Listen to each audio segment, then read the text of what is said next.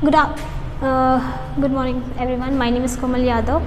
Today we are going to discuss uh, about the chapter number 8 of class 6. We are discussing the topic of adaptations uh, in tropical rainforest. I have told you about that topic means hota hai equator equator के पास वाले area में जहाँ पे tropical rain forest होता है, उसको बोलते हैं ट्रॉपिकल रेन फॉरेस्ट वहाँ पे कैसा अडेप्टेशन है ऑर्गेनिजम्स का वही हम डिस्कस करेंगे। अगर हम बात कर रहे हैं एनिमल्स की तो एनिमल्स में कौन कौन से फीचर्स पाए जाते हैं ताकि वो वहाँ पे सर्वाइव कर सकें?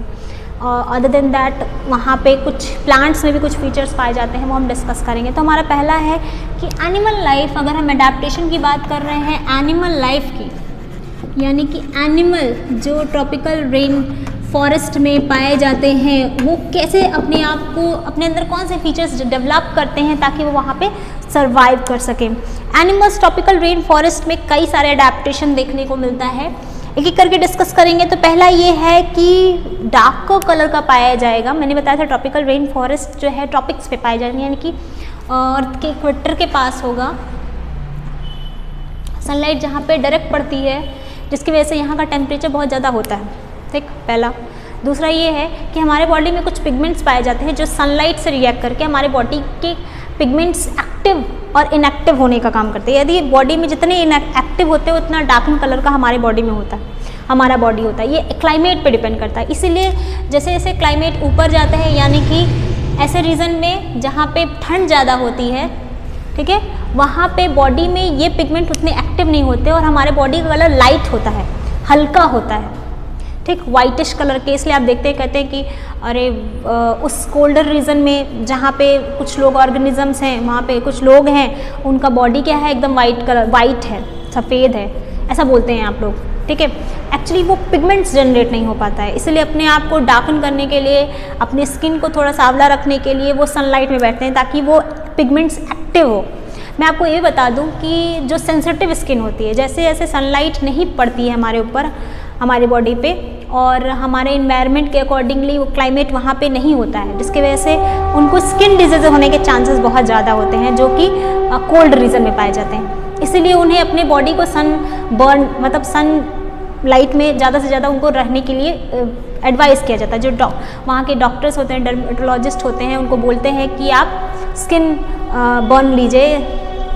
Okay skin sun sorry sun के uh, में अपनी आप को थोड़ा रखिए धूप में जाइए ऐसा वहाँ पे बोला जाता है। ठीक है हम यहाँ बात कर रहे हैं इस लाइफ की टॉपिक्स लाइफ की तो वहाँ पे और भी की चीज़ें देखने को मिलती है कि वहाँ पे एनिमल्स जो होते हैं अपने आप उनकी बॉडी कलर डार्क होता है ताकि अपने आप को अपने प्रिडेटर से बचा ले जाते हैं। यानी छिपने के लिए उनका बॉडी का कलर अगर डार्क होता है तो डार्क रीजन में आराम से छिप जाते हैं और अपने आप को बचा ले जाते हैं। ये उनके अंदर फीचर देखने को पाया जाता है। अब इसी के अपोजिट वहाँ पे जो प्रिडेटर्स होते हैं प्रे को पकड़ने के लिए इनकी बॉडी में ग्लोइंग ग्लोइंग कह सकते हैं चमकने वाली फीचर्स पाया जाता है कि इनकी बॉडी का कुछ पार्ट शाइन करता है। ठीक है? ग्लो वॉर्म्स क्या करते हैं? यूज़ करते हैं बायोलिमिनेशंस को जिससे वजह से वो अपने प्रे को अट्रैक्ट करते हैं अपने तरफ़ ताकि डार्कन रीजन में वो आ, पकड़ सके उन्हें। यानी अंधेरे वाली जगह पे, जैसे बताया था ट्रॉपिकल रेन फॉरेस्ट में धूप जो है नीचे तक नहीं पहुँच पाती है। क्यों? क्योंकि बहुत घना जंगल होता है वेजिटेशन बहुत हाई होता है डार्क होता है डेंस होता है। तो इसलिए वो डार्कन रीजन में ग्लोई मतलब अपने बॉडी को शाइन करा करके, चमक, चमका करके अपने प्रे को अपनी तरफ़ अट्रैक्ट करते हैं, ताकि वो उन्हें पकड़ सकें। तो ये दोनों में फीचर पाया जाता है। इसके अलावा ट्रॉपिकल रेन फॉरेस्ट का टेम्परेचर बहुत ज़्यादा हाई होता है, इसलिए कुछ एनिमल्स जो होते हैं, अपने बॉडी को राउंड कर लेते हैं। जैसे कि आपके बुक में कुछ नाम भी लिखा हुआ है, जैसे तस्मैनियन एक ऐसा एनिमल है जो अपने आप को राउंड करके अपने आप को कूल रखने का काम करता है, ताकि वो जले ना। वहाँ की गर्मी में परेशान ना हो, उसकी बॉडी में कोई हार्म ना हो। ठीक है?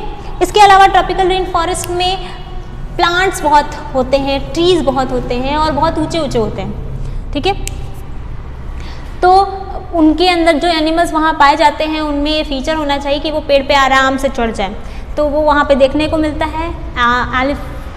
लाइक मंकी एंड स्लोथ करके एनिमल्स पाए जाते हैं, जो आराम से पेड़ों पे चढ़ जाते हैं और अपने फ़ूड को कलेक्ट कर लेते हैं पेड़ों से। तो ये एनिमल लाइफ देखने को मिलती है। अब हम बात करेंगे प्लांट लाइफ प्लांट लाइफ भी देखेंगे। तो मैंने बताया था कि वहाँ का वेजिटेशन बहुत ज़्यादा डेंस होता है, घना जंगल।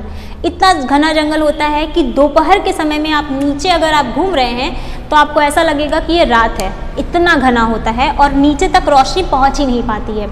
तो इससे क्या होगा? इससे ये होगा कि जो प्लांट ये तो ट्री हो गया, दूसरा ट्री हो गया, लेकिन इस लैंड पे जो छोटे छोटे पौधे होते होंगे, वो अपना फोटोसिंथेसिस कैसे करेंगे, जब उनको लाइट ही नहीं मिल रही है? तो इस कंडीशन में जो नीचे वाले प्लांट्स होते हैं वो इस पेड़ पे चढ़ जाते हैं। जी हाँ क्रीपर्स क्रीपर्स पाए जाते हैं छोटे छोटे क्रीपर्स जिनकी रूट्स यहीं पे होती है, इसी पे होती है, इसी सॉइल में होती है। लेकिन ये क्या करते हैं? इसको राउंड करते हुए पेड़ के ऊपर पहुँच जाते हैं, उस जगह पहुँच जाते हैं जहाँ पे सनलाइट पहुँच रही होती है। और वहाँ से वो अपना फोटोसिंथेसिस कर लेते हैं और अपना खाना बना लेते हैं। जहाँ पे भी सनलाइट होती है, वो वहाँ की लीव्स थोड़ी बोल्ड होती है, यानी चौड़ी होती है। ठीक?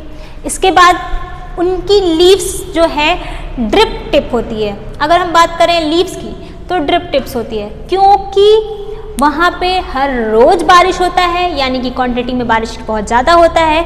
इसका मतलब ये है कि अगर बारिश का पानी पत्ते पर कलेक्ट होकर के पड़ा रहेगा तो पत्तियाँ सड़ जाएँगी, ठीक? लेकिन इसी चीज़ को देखते हुए नेचर ने उनकी लीफ को ही फॉर्मेशन इस तरीके से किया है कि पानी उस पर कलेक्ट होती ही नहीं है। वह उससे, उस पर जा कर के टिप से कलेक्ट होकर के नीचे गिर जाती है। तो टिप टिप करके जो भी उस पर बारिश का पानी आता है, वो नीचे गिर जाती है। इस तरीके से क्या होता है कि वो अपने आप को सड़ने से बचा लेता है, यानी कि पत्तियाँ सड़ती नहीं हैं। इसलिए इसको बोलते हैं evergreen forest tropical rain forest and evergreen forest हमेशा हरा भरा रहने वाला जंगल। ठीक है? तो इस तरीके से प्लांट्स में ये सब फीचर्स पाया जाता है और अपने आप को बचा ले जाते हैं। इस ट्रॉपिकल रेन फॉरेस्ट में हमेशा हरा भरा रहता है और ये सब एडेप्टेशन देखने को मिलता है। आई थिंक आपको समझ में आ गया होगा। आज के लिए इतना ही। Thank you have a nice day